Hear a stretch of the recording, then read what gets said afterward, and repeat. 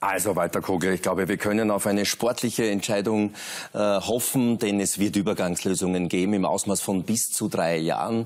Ist wohl auch gut so, dass der Sport dann entscheidet. Ja, ich denke, grundsätzlich soll immer der Sport entscheiden.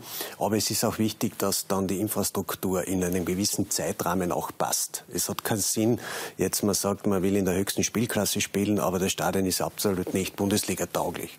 So, Wichtigste ist die sportliche Qualifikation, aber nie außer Acht lassen, dass man eine gewisse Infrastruktur braucht. Ich glaube, das ist auch für den Fußball allgemein ganz, ganz wichtig.